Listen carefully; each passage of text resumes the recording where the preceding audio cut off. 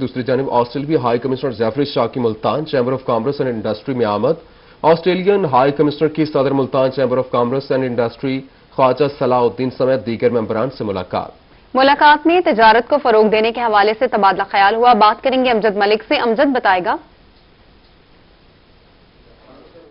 جی بالکل Australian high commissioner جو کہ ہیں ڈاکٹر جفری شا کچھ دنوں کے لیے ملتان کے دورے پر موجود ہیں اس وقت Multan chamber of commerce and industry کے انہوں نے دورہ کیا ہے اور باقاعدہ جو ملتان کے صنعت کار ہیں جنوبی پنجاب کے جو بڑے تاجر ہیں ان سے ملاقات بھی کی ہے مختلف ایشوز کے حوالے سے بات چیت تفصیل کی گئی ہے ہمارے ساتھ موجود ہم ان کی زبانی جانتے ہیں sir first of all you warm welcome in Multan what do you say about you visit in Multan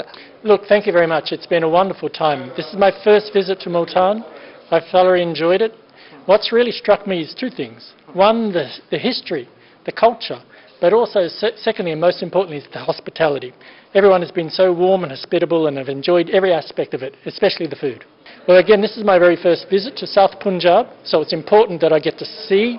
the country, get to see the people, but also get to understand some of the challenges, some of the areas where we can collaborate, including in areas of commerce whether that's in agriculture, whether that's in cotton seeds we talked about today.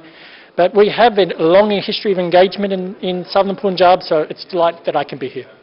Uh, how we can promote uh, uh, trade uh, between uh, Pakistan and Australia, especially livestock issue, and you start uh, water projects in Pakistan. some explain me. Look, I think one of the key things about promoting um, connections between Australia and Pakistan will be through the Chambers of Commerce. And that was part of our discussion that we had today,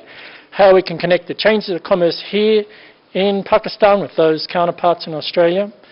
We continue to work in areas, our scientists are already collaborating in areas, as you mentioned, water research and agriculture research, but it's connecting businesses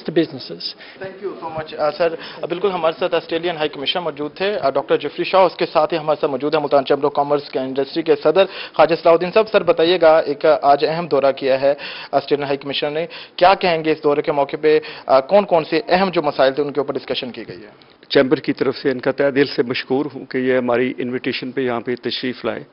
آج کا جو session ہے بڑا fruitful رہا بڑا comprehensive رہا جس چیز پہ سب سے زیادہ میں نے